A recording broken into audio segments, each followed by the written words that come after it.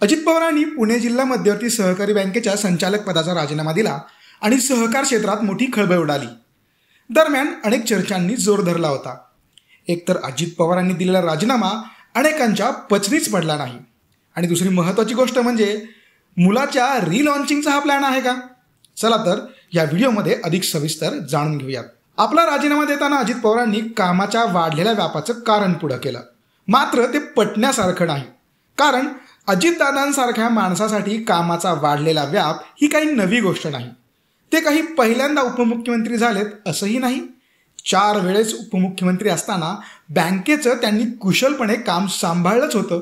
मग आत्ताच अचानक कामाचा व्याप वाढला का? बँकेच्या संचालक मंडळाने अजित पवारांचा राजीनामा मंजूर केला असला तरी पवारांनंतर कोण?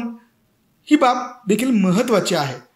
कारण त्यांच्या जागी त्यांच्याच अत्यंत जवळचा आणि तरुण व्यक्तिमत्वाची येथे वर्णी लागणार एवढं नक्की.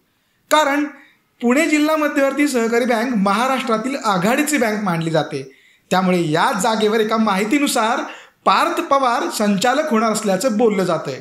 त्यामुळे पवारांचा हा निर्णय पुत्र पार्थ पवारांसाठी आखलेला डाव असल्याचं बोललं जातंय.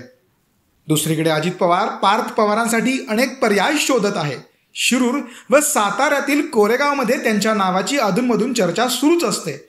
अद्याप ते या ठिकाणी सक्रिय झालेले नाहीत.